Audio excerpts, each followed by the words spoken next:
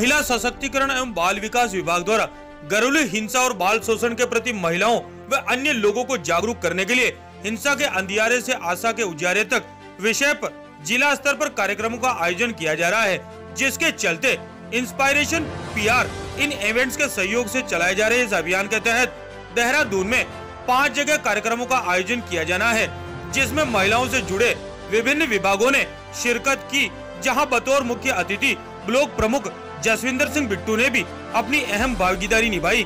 साथ ही उन्होंने विभागों व इंस्पायरेशन पीआर इन इवेंट्स के इस प्रयास की सराहना की। नवभारत समाचार विकास नगर से महेंद्र तोमर। इमोशनल भी होता है। ह्यूमैनिटी हमारे अंदर है। एक केस सुना थोड़ा सा इमोशनल भाव आ गए है ना?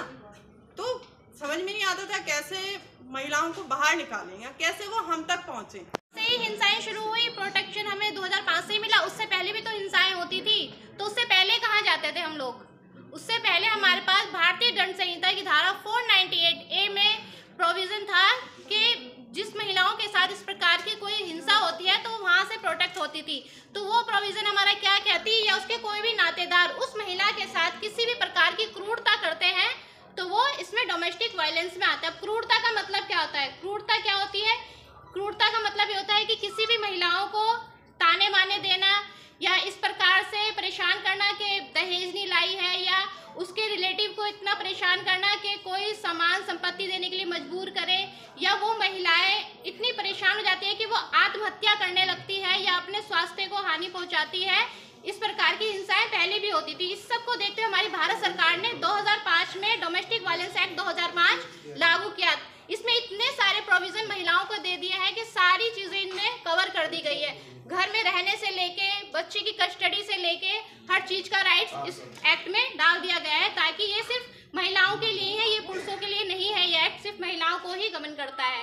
तो अब हम आपसे बात करेंगे डोमेस्टिक वायलेंस एक्ट क्या है। डोमेस्टिक वायलेंस एक्ट जो है, इसमें कितने प्रकार की हिंसाएँ होती हैं? कोई बताएगा महिलाओं के साथ कितने प्रकार की हिंसाएँ होती हैं? शारीरिक हिंसा, आर्थिक हिंसा और यौन हिंसा। तो सबसे पहले हम बात करेंगे शारीरिक हिंसा। शारीरिक हिंसा क्या होती है? सपोज़ हस्बैंड घर आया, शाम को आया, चाय चाय पानी आप लेके गए, वो गुस्से में है, फेंक के मार दी उसने। तो क्या हो गई है शारीरिक हिंसा हो गई। थप्पड़ मार देना, पीट देना, लात मार देना, धक्का मार देना, लेकिन हम इन सब चीज़ों को इग्नोर कर देती है महिलाएँ। कोई बात नहीं हस्बैंड है, क्या हो गया?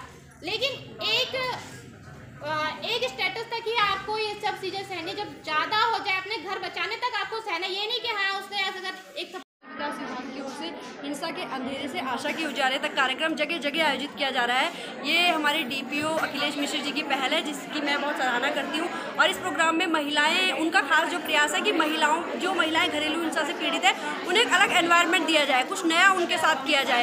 क्योंकि हर महिला आती है, गंभीरता के साथ कार्यक्रम सुनती है अटेंड करती है और घर जाके फिर वही रोनी लेके घर में बैठी रहती है। तो उन्हें कुछ सीख के साथ, कुछ जानकारी के साथ, कुछ नए तरीके से एंटरटेन कर रहे हैं। इंस्पिरेशन पीआर एंड इवेंट्स को इसकी ज़िम्मेदारी मिली है।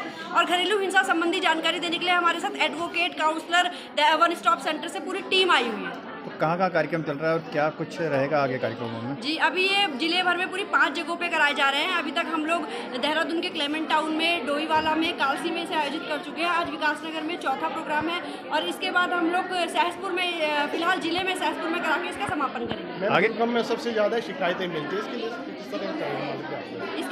देखिए विभागीय अधिकारी या विभागीय लोग ज़्यादा जानकारी दे सकते हैं दुर्गम, लेकिन जहाँ तक हम अभी हम लोग भी विभाग में देख रहे हैं, पत्रकार होने के नाते जानकारियाँ मिलती रहती है तो उनका विशेष फोकस है डीपीओ साहब का कि चक्राता जैसे क्षेत्रों में जाया जाए और वहाँ महिलाओं के बीच में भी जल्दी हम एक कार्यक्रम का आयोजन करने वाले है।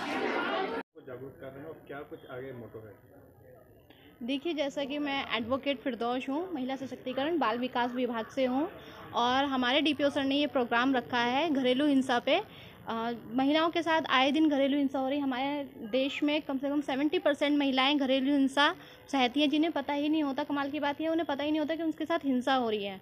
तो इसी चीज़ों को लेके हमने ये वर्कशॉप रखी है ताकि हम महिलाओं को जागरूक कर सकें उन्हें नए नए कानूनों के बारे में हम बता सकें। और जैसे कि आ, अभी हमारे हाल ही में सुप्रीम कोर्ट की गाइडलाइन आई है आया है कि पहले पूर्वजों की संपत्ति में जो हिंदू महिलाएँ होती थी, बेटियाँ होती थी, उन्हें कोई राइट्स नहीं होता था, लेकिन अब उन्हें पूर्वजों की संपत्ति में भी राइट्स मिल चुका है और हिंसाओं के बारे में हमने जैसे जागरूक कर रहे हैं कि इस इस प्रकार की हिंसाएँ होती हैं ताकि आप जागरूक होएँ और पॉक्सो एक्ट के बारे में हमने उन्हें गुड टच बैड टच के बारे में बताया है कि जिसमें महिलाएँ भी अगर किसी बच्चे को किसी गलत तरीके से टच करती है तो वो भी एक क्राइम होता है और इसी चीज़ों को लेकर आज हमने एक ये वर्कशॉप रखी है। आपने अभी कहा है कि घरेलू हिंसाओं को लेकर है। तो उसको किस तरह से जो रोका जा सकता है घरेलू हिंसा को? घरेलू हिंसा की जब तक महिलाएँ खुद जागरूक नहीं होंगी खुद अपने ऊपर डिपेंड नहीं होंगी तब तक महिलाओं को जागरूक नहीं किया जा सकता। महिलाओं को इसके लिए क्या है? घर से बाहर निकलना बहुत ज़रूरी है डिपेंड होना बहुत ज़रूरी है। चीज़ों को खुद करना ज़रूरी है। जब तक वो खुद इन चीज़ सब चीज़ों को नहीं करेंगी तब तक महिला जागरूक कैसे होंगी घर से बाहर निकलना बहुत ज़रूरी है। घर के अंदर रह रह के आप सब चीज़ें नहीं कर सकते इसके लिए सबसे इम्पोर्टेंट बात है महिलाओं को शिक्षित होना बहुत ज़रूरी है। एक महिला अगर शिक्षित हो गई तो वो दस लोगों को दस लोगों को शिक्षित कर सकती है। आपकी टीम कितने जो है दौरा कर रही है का? या किस तरीके से काम कर रही है इस चीज़ को लेकर? हमारी एक पूरी टीम है जिसमें हमारे वन स्टॉप सेंटर है। हमारी पूरी टीम में मेडिकल की सुविधा भी है, पुलिस व्यवस्था भी है, काउंसलिंग की हमें सु- हम सुविधा भी देते हैं और कोर्ट में जब हमें कोई लीगल मामला आता है तो कोर्ट में भी हम इस चीज़ की सुविधा देते हैं।